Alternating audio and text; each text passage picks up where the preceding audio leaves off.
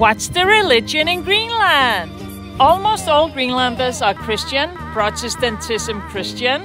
There are other small groups of religion too, like Catholics, Jehovah's Witnesses, Baha'i, Baptist, and I guess there's around 20 Muslims in Greenland. I am in Aasiaat, and the church you see behind me here is called Egede Okalufia, which is named after Nils Egede, the son of Hans Egede. And my last name before I got married was Egede as well. So my previous name was Kupanuk Egede. My last name is now Olsen. Now the question is, am I Christian?